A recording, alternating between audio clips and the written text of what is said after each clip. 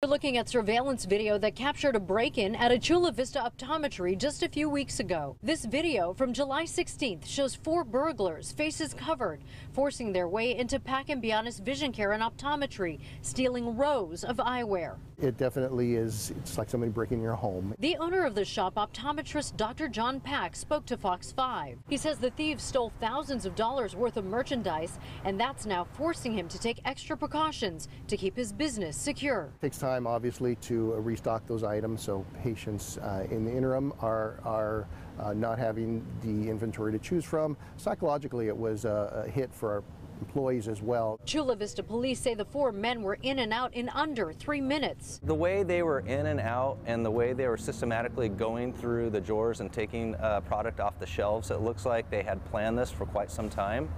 Um, they also had a timeline, it appeared, so they knew by the time they broke the door, an alarm would be going off.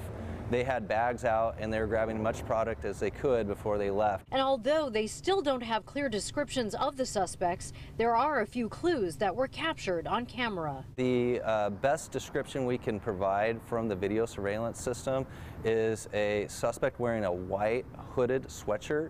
He appears to be wearing glasses and has a very thin mustache. One of the other suspects was wearing very distinctive sneakers that had a, re a reflective pattern to them. Any tip we're asking for right now would be helpful for the investigators to hopefully be able to make some arrests and get those glasses back to the business.